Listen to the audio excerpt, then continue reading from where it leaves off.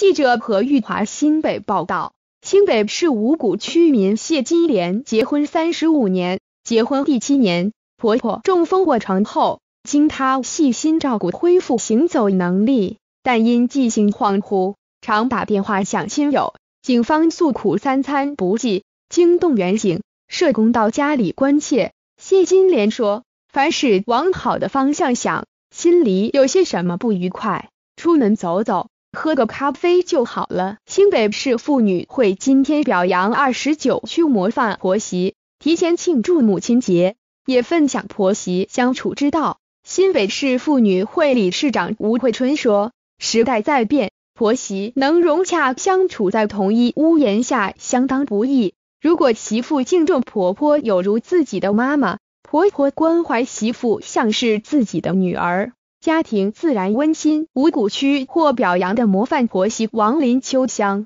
谢金莲。王林秋香五十四岁，中风至今已二十八年，卧床针灸治疗后能靠助行器行走，难免脾气不好骂人。谢金莲说，让她发泄完就好，或当听不懂。自己在娘家不会顶撞父母，婆婆就像自己的妈妈，她也不会顶嘴，因为记忆恍惚。王林秋香常会打电话给亲友，或主助助行器到公所诉苦，说三餐不济或未受好照顾，多次惊动警方到家里了解，连社会局也派社工员进行家访。谢金莲说：“凡事往好的方向想，老公负责，四个孩子乖巧，心里有些什么不愉快，出门走走，喝个咖啡就好了。”